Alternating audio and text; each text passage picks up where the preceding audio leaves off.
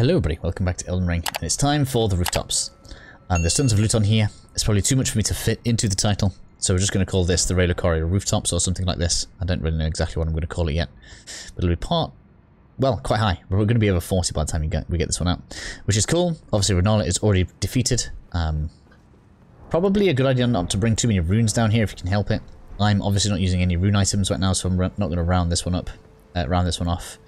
Um, but yes, this is a um, an easy place to die. so just bear that in mind when you come down here, particularly with some of the jumps that we're going to be taking. Um, we're just going to run on over like this. Wow, try not to fall over like I did. Oh man, I can't move. Oh my god. Uh, you're going to want to jump over this way. Excuse me. Uh, be careful down here because you're going to be immediately kind of lambasted from both directions. We're just going to run behind here for a backstab though because well, it's just not well defended. If you want a bit of an easier way up in the future, we can go ahead and open this door. It's a good idea to have this unlocked because it is probably going to be more... Yeah, it's probably going to be more than one run because there's a couple of like branches and stuff as we go down. Uh, particularly if you want to get absolutely everything. Whoa! Um, and yeah, just having all of this stuff firing at you once is just a bit... It's a bit obnoxious. They did obviously want to lead you to here though, so you could see that, you know, you can get down here. Tons of things. We're going to get an imbued key here, um, as well as Thop's key. Depending on how well we do for time, we may as we may go ahead and complete his quest in this video too. It's uh, not be in the way of that.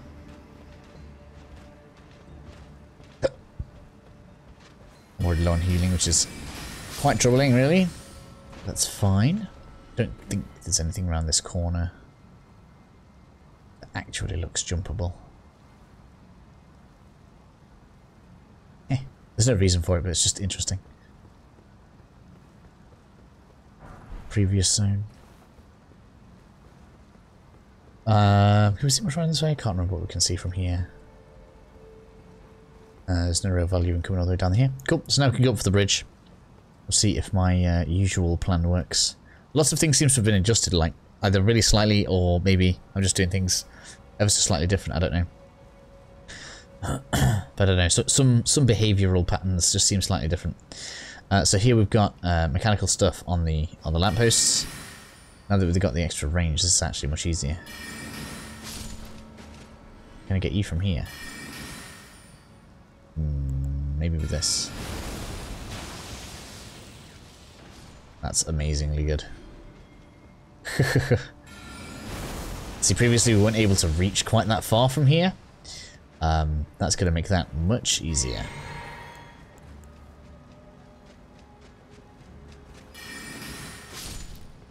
And I suppose I've got to switch to Loretta's bow, actually, now that I think about it.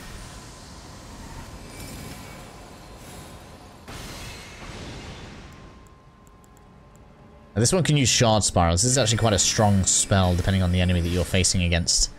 Um, it's not the best necessarily against individual, let's go with human-shaped slash sized enemies, but anything bigger or good groups that kind of line up down a corridor, um, fantastic spell, but we're not going to be able to get it for a little while. I mean, not able is, is probably a bit of regular, probably get it pretty soon, but um, we want to go down here. So I know this piece of loot here will drive a lot of people crazy. We will be getting that in this episode. In fact, we'll probably get that now. I think about it. So we're going to come over this way. Uh, I've had a lot of people saying they struggle with this jump. Um, I don't know what to say other than um, try to aim like downhill from yourself as you go out and make sure you are sprinting when you come over here. This jump is treacherous and you really do need to be like at the very last. Like you need to be pressing the jump when you get to the differing colour on the roof. Get down. Having the rapier actually do real damage is, is quite nice, actually. Are you going to fall off? Come on. Nope, you can do that. Uh, two directions you can go here. You can jump across that way. Um, and that has you going kind of around there. Uh, and you drop from that way, you can drop through there, and that takes you down to a place where we're going to be going later anyway. But um, realistically speaking, I think on this first time around, you want to go this way.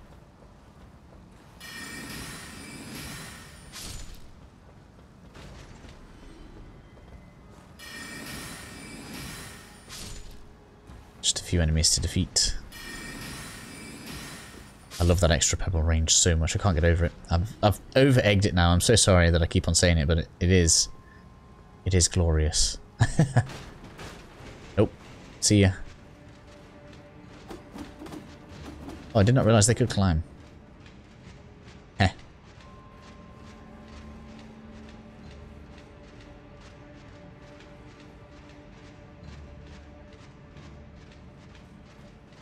It is a bit of a climb up the ladder, right?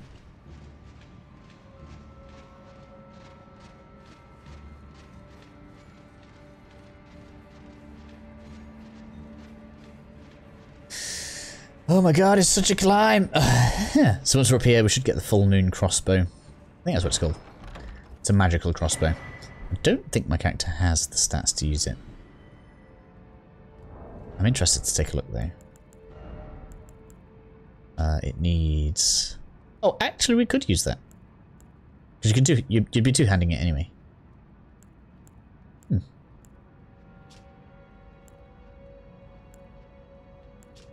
What's the range on it? The range is definitely better than the short bow. We, we may test that out. It could be a good option for us. The short bow being a pain. Right, so I'm not going to wait for that guy to come up here. What we want to do, here we are. Let's jump onto here. Then there's the piece of loot that I promised you that we'd get. Just notice that we can jump back over that way. I don't know. I'm not completely convinced whether or not you'd survive that jump. To go around there. I'm not planning to take that direction because I don't think it gets us anything extra and it just causes an extra run down to uh, to do the rest of the the rooftop. So instead of jumping back over there and going around to where that tower is to drop down at the bottom, um, and down there, kind of right at the bottom of there, is another one of the crystal crabs. Um, but we can get there a different direction. So, at least I, I think we can. I feel like I remember we can. Uh, so we're gonna continue this way. Deal with you. They have bows? I don't think they do. See you down. I think that one did actually. You down. Make sure we're not going to fall off. It's going to be drop off. That's the imbued key on that tower there. can't remember if there's anything over this way. Like something flies down to me. Mm, but it hasn't. Okay. Oh, notifications. Do you mind? Uh, let's just top up the old FP. Uh, I don't think it matters which side you drop down. We're going to go to the right hand side because that's where I know the loot is that I want So going to want this. But then it's a rune arc across this jump on the left. So, jumpy trick. Don't think it's an ambush. This one. This does give us the ability to have a bit of a look around at stuff. So that's where the hole would have been at the top. And we're going to aim to get there later on. Um, as we're back over there in a second, as you can see on the ladder. Um, and then we'll be having that crystal crab there as well. For another hat. Uh, so we need to make a jump across. I think we actually got most of it now, it's good. Take a jump across. Go ahead and... Can I get you from... Oh, you know what? We definitely can get you from here.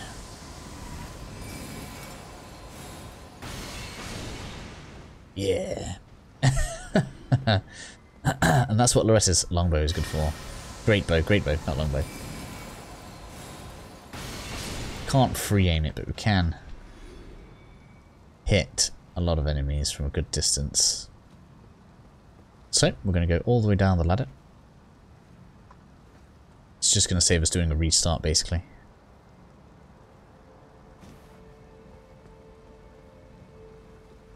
Let's change spell. I don't think anything does aggro on us here, does it? Whoa, don't roll off there. Just checking.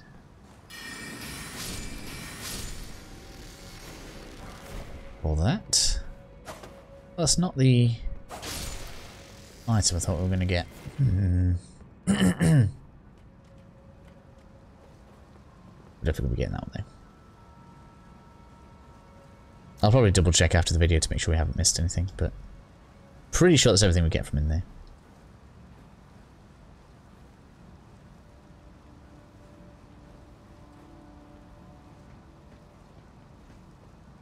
And then we want to jump across this way. Thought I heard something. Uh, and then you can either pick left or right. I don't think there's much out this left way. We're going to clear it anyway, just so we can show you guys.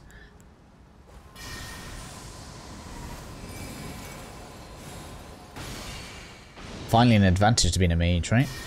Most of the tight corridor areas have been an absolute nightmare, but these rooftops are perfect for us. You dropped what you dropped. Oh, helmet. Cool. Magic grease. Obviously, see we go through the windows, but we're not going to do that. We're going to go around. Uh, you probably can just get across the, across the rafters, but I find this safer.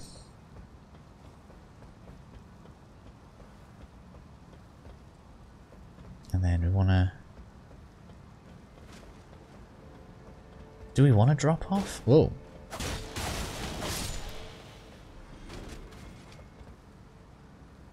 You know what, no. I don't think I do want to drop off here. No, if we drop off there, we won't get this stuff. I was a little bit wrong. Let's go in here. Because the key, glintstone key is that there. And we want that for Thop. So that we can get his um, quest done because he'll give us an, a new gesture, which gets us into a tower. So we want that. Oh, that was almost too far. There we have Glintstone Key. And then, I mean, don't ask me how it gets hidden here, but it does.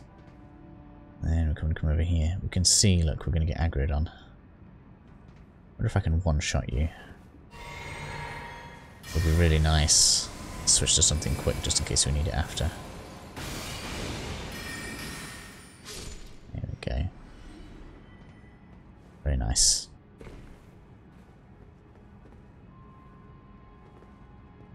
Let's now come out here. Wow, PC was struggling with that there. Get this. Are you even feeling it, crab? God damn. Twinsage glintstone crown. That's probably the most important one. Um, for a reason you guys will see later. You can see the huge amount of intelligence that it gives you. This is going to be important for a an incantation we're going to have to cast later that requires significant amounts of both faith and intelligence. So that's quite important for um, basically every other build except the one we're using right now. So just make sure that you grab that if you are not using a mage. Whoa, excuse me. I saw that coming. Touche, sir, touche.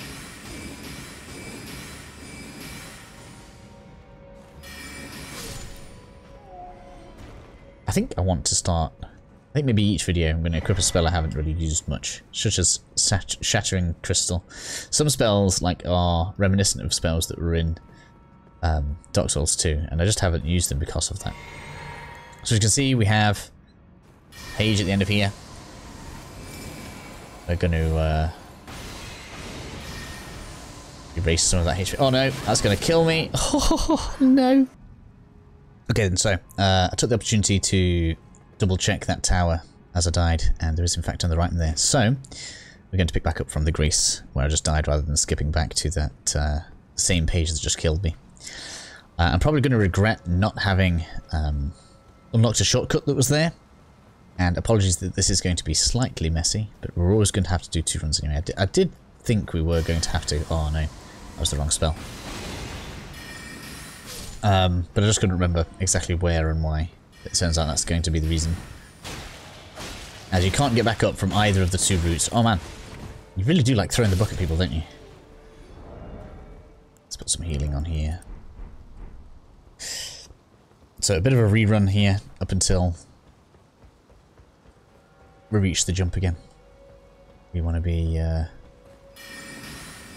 pelting these. One of the things that I've noticed that I really dislike is it'll stay engaged, look, and then the moment they stop shooting, it disengages. So it makes it really difficult to try and get out and get yourself a bit of a, a bit of a hit in there.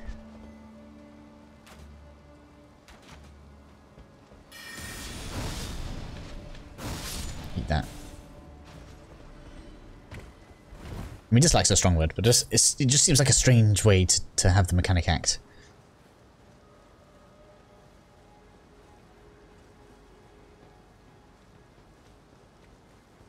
Round two for you.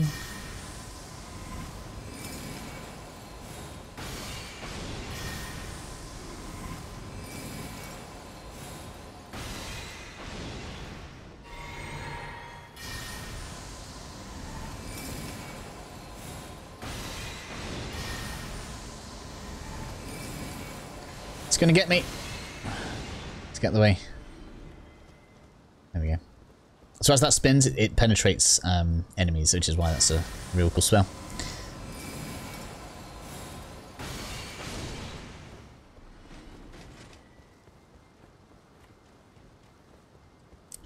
I'm looking forward to the people yelling at me in the comments now. it's fun. Right, so uh, we're going to drop down here. And then we want to make the jump across there again. See if we can do it three for three. This is where I'm going to fail the jump, I promise you. Oh, oh I knew it. okay, so after having made the jump this time, let's make our way across.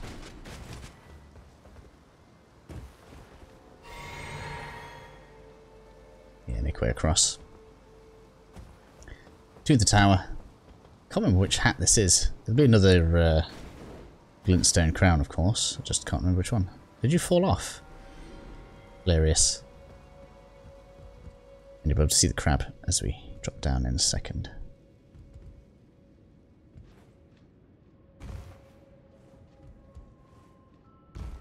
Hello, sir.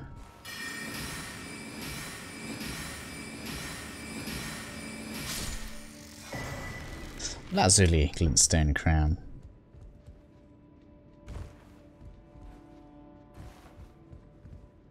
Maybe we'll compare them all later. So now I'm going to have to go back. Let's skip going up the ladder. And of course we've jumped back around to the rooftop. Um, let's just get away without aggroing too many of the enemies here. Yeah, I want to go back onto the beam. Go ahead and do this again. Did it one-shot you last time? I think it did. Oh, I don't have the thing on. Never mind. Oh, now you're gonna wanna wreck me off here, aren't you? Let's get up. Oh my god, get up here quickly.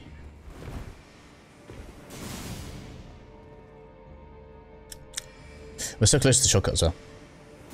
See, there's a ladder there, we just kick it down and we have a shortcut.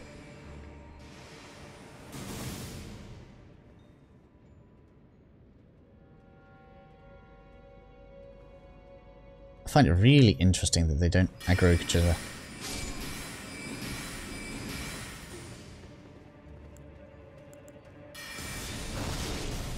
No, out of FP.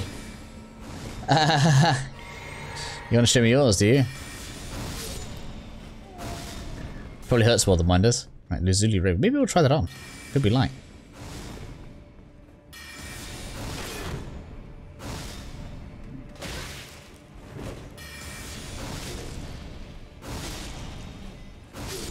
Cool. Okay, so let's call this a rewrite. Before you face the page, kick this down. And just for reference then, this basically allows us to get back up here from the very first grace we got when we came into the actual main academy. I should have done it beforehand. I was clearly being too uh, overconfident in attacking this, and I completely forgot that it fired in threes. And I shouldn't have gone for the second great bow. It's a whole list of mistakes, right? It's a litany of them. I'm going to fire my own first. Then what we're going to do is we're going to come around this corner. It's clearly what the better idea is to uh, let it come over this way. And then we're going to uh, sword it to death. Come on. You must have more pace in you than that. Or are you weighed down by the weight of the crossbow you're using? Kind of daggered. Like, fine. Cool. And in here, we're going to find um, a new staff. I don't know if we can use it yet. Does this have 60 intelligence requirement? It does. 52, actually. Okay. Okay. Um, so yeah, not really much we can do with that right now. So that staff is a staff that will allow you to cast faster. With that and the Radagon's icon on, we can get maximum cast speed. But the uh, the downside to that specific one is that it will uh, increase the cost of your spells. I think it's by like 30%, so it's it's a bit of a trade-off. I'm not entirely a fan of it, personally. But that is all of... Whoa! I was just looking at how long we've been going for. That's everything we need from the rooftops, and it's probably... Probably a good place to end the episode, but don't... No, let's let's do Thop's quest. So now that we have Thop's key, or should I say the alternative Glintstone key, all we need to do is go back to the Church of Irithyr here. Go and see Thop again. Ooh. Let's go and do that. So back at Thop, I'm going to give him the key. Hello, the key.